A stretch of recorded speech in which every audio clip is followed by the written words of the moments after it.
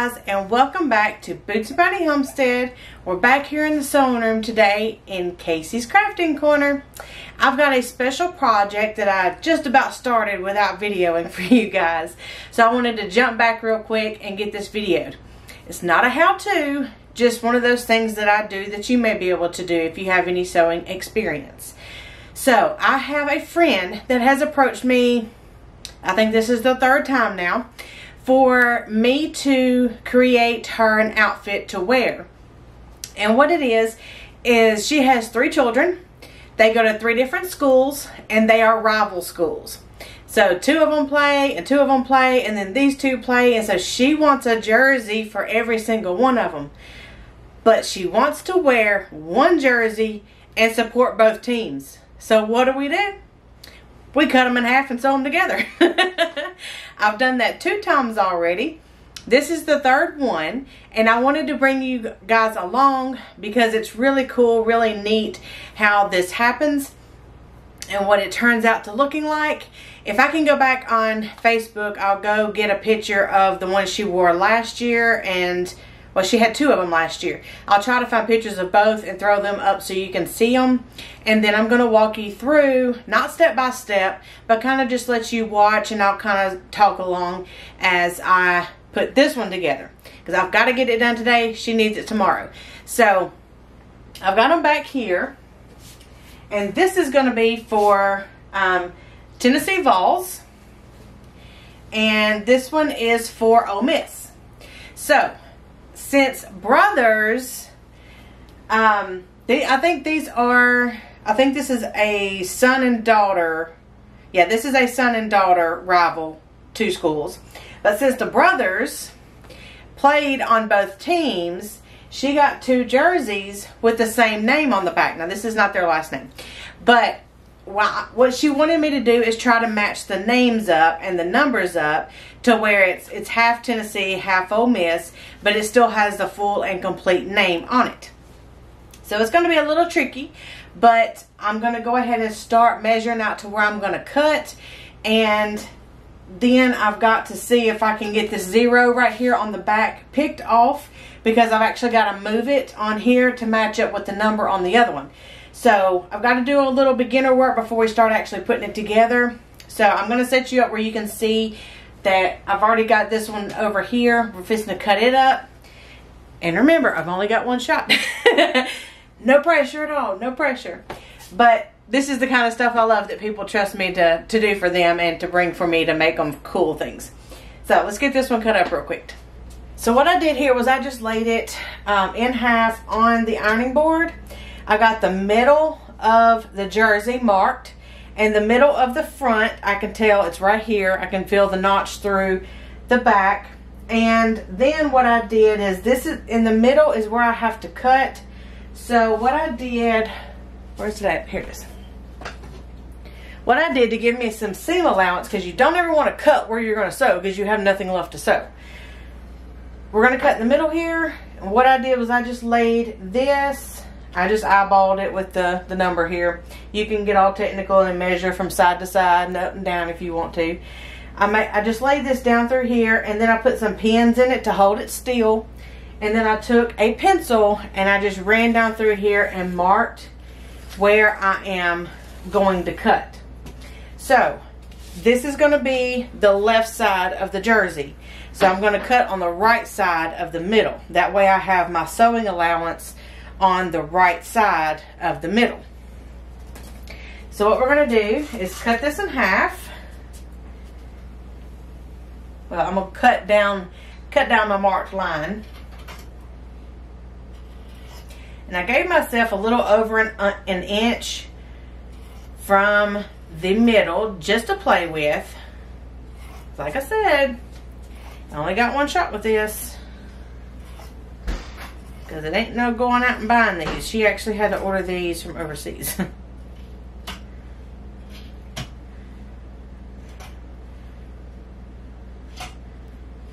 Alright. There's half. Now, I left these pins in here just to hold it um, stable. And I'm going to go ahead and cut up the other side. Now on this one, we're going to keep the right side, so we've got to cut to the left of the center. All right, let's get it all laid out. And, yep, there it is, there it is. Okay. And I'm going to do the same thing. So we are keeping the right side of this jersey, so we have to cut to the left of the center. So I'm going to lay this on the center. And their numbers aren't actually lined up right. Don't you love whenever you're you're sewing and you accidentally find factory errors? I don't know if you guys ever do that or not. I don't even know if you guys sew. Let's see if we can pin this a little bit.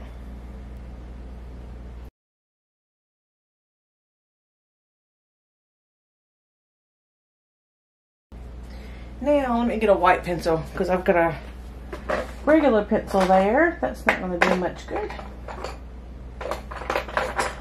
I've got different colored pencils because you can't use a red pencil on a red jersey. So I'm going to use a white one. We'll hold it down so it doesn't move. Mark it. Wait a minute. Not on that side. Gonna mark it on this side. Cutting on this side. Sewing on the other side.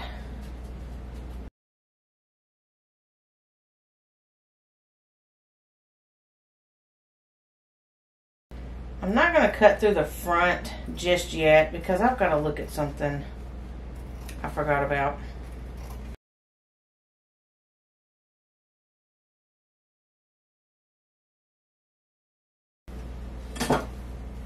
And that's why I pin this, just in case I have to move anything. Okay. So, see, I, on these right here, this is vinyl. I can't pick that off. But with this one, it has the numbers sewn on there. So I wanted to make sure that I wasn't going to cut through something I needed. So I don't need that zero. Because remember, I can't put it back. but on the front, I'm using the one and not the zero. All right. It's cut. No turning back now. Now, does the front, let's see what the front has on this one.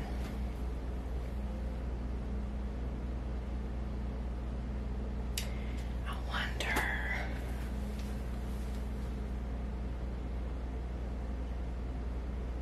Hmm. That's just going to be the way it is. I can't pick that off. Unless...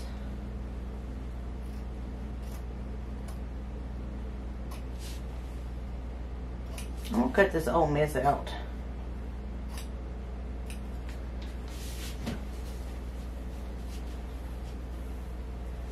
Just working the ideas in my head.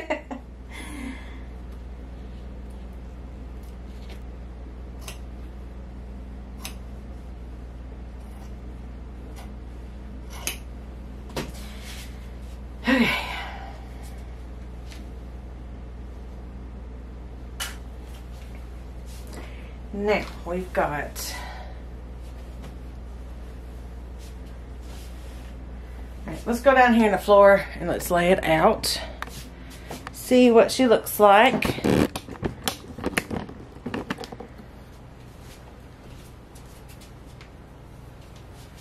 Alright, so we've got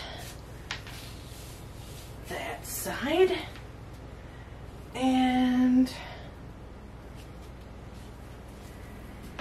this side.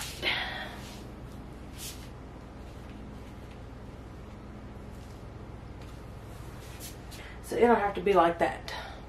Nothing I can do about it. Because of the the print of this one, it's, it's just is what it is. Unless I might can pick this one off and move it over here leave her Tennessee up here. Figure out how to do this. so since the Ole Miss is overlapping I want to try to keep the T as well. So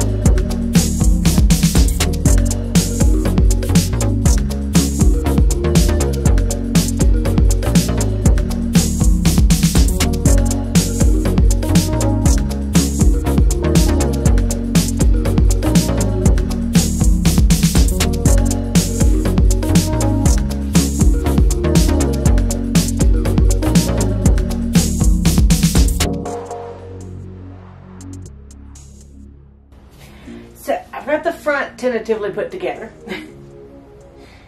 now we gotta make the back.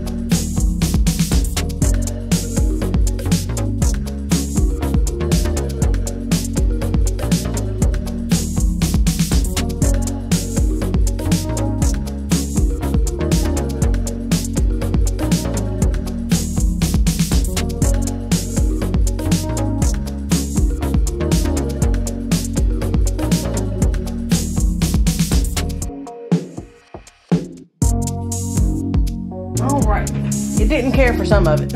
I'm gonna go back over here on the sewing machine and just zigzag it.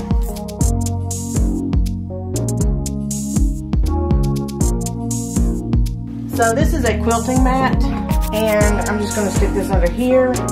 So when I go to pin it, um, I'm not gonna pin both sides.